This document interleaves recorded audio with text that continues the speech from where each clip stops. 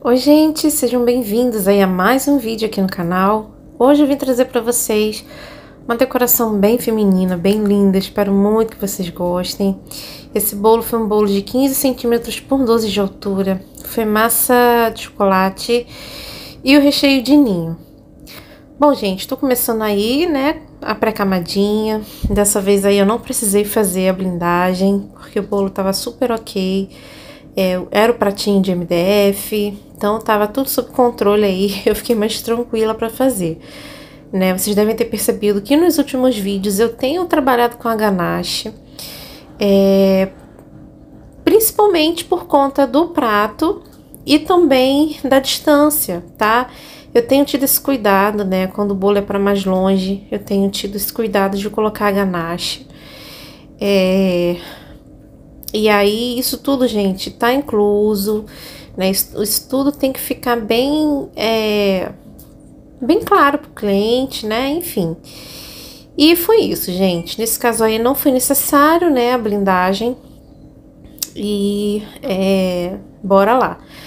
Com relação à blindagem, gente, às vezes, né, só para deixar claro aqui, né? Às vezes não é culpa do cliente, por exemplo. Teve um bolo que o bolo, o pratinho, ele não era de MDF, né? Eu não tava com pratinho de MDF. E a cliente pediu o bolo. Eu fiquei insegura de, de não fazer a blindagem, tá? É, e aí eu fiz a blindagem e isso não teve custo para o cliente, tá bom? Então, assim, às vezes acontece de eu querer por mim mesma fazer a blindagem para não ter uma dor de cabeça depois, né? O cliente reclamar que o bolo, é, sei lá, não deu, não deu certo, né? Na hora de segurar lá, não deu certo. Às vezes o problema não é nem nosso, às vezes é o problema do cliente. Às vezes ele é, segura de mau jeito lá o prato e aí o bolo fica danificado. Às vezes eles nem avisam pra gente, né? Porque eles sabem que foi um erro deles lá. Mas a gente fica naquela, né? Poxa, né? Não, não ficou lá na mesa lá o bolo bonito, tá? Às vezes a gente vê nas fotos, né? É, o cliente posta lá e a gente vê e a gente fica bem triste, né? Assim, é... então às vezes eu faço, tá, gente? Mas assim, quando eu percebo que, que não vai ter problema, que tá a massa estruturada, né? Porque a minha massa é estruturada e o meu recheio também. Às vezes o problema que acontece é o bolo ficar, é o bolo não ficar muito tempo é, prensado, né? E isso é muito importante que fique, né? Pelo menos na minha experiência, bolo que não tá prensado, o risco, né, dele tombar, alguma coisa assim, é muito grande, tá bom? É, então vamos lá, gente, falar aqui do bolo, né? Vocês viram que eu fiz aí meu chantininho, apliquei aí, é, esse corante rosa, eu utilizei várias corzinhas. Eu utilizei um pouquinho do rosa, utilizei, só que era um rosa pink, eu queria um rosa mais claro. E aí eu queria é, um rosa mais claro, né? Que o pink, que era o, o, o que eu tinha. E aí eu coloquei pó para decoração pink e pó para decoração branco, para ver se esse branco clareava mais.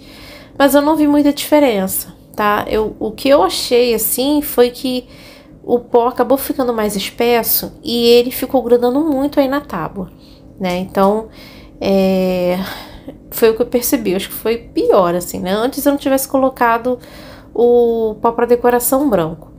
Mas deu certo, tá, gente? Né? Eu, aos pouquinhos aí a gente vai limpando. É, eu fiz também o chapiscado em cima, né? Com um pincelzinho mesmo.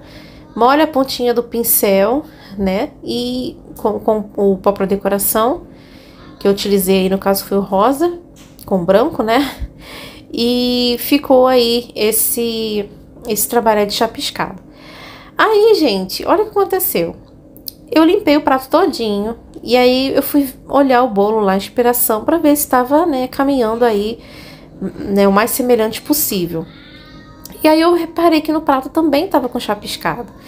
Então, às vezes, é um detalhezinho, né, que às vezes a cliente realmente quer, porque eu, eu pensei, falei, ah, gente, se a cliente não, quisesse, ela teria falado, né, para tirar e tal.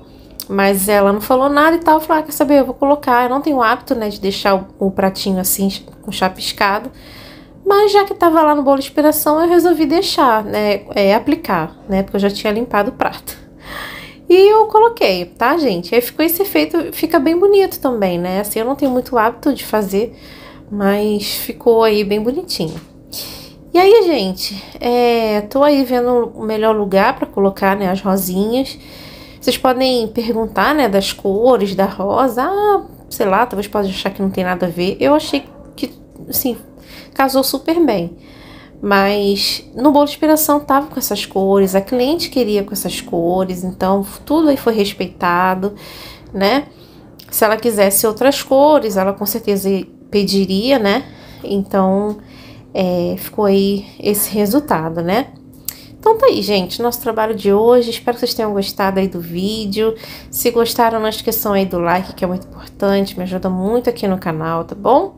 YouTube entende aí que vocês gostam do conteúdo, então eu vou ser sempre recomendada aí para vocês e também para outras pessoas, né, para que outras pessoas venham conhecer aqui o canal, tá bom? Então não esqueçam aí de dar o like e também se você não é inscrito, né, de se inscrever e ativar o sininho, tá bom?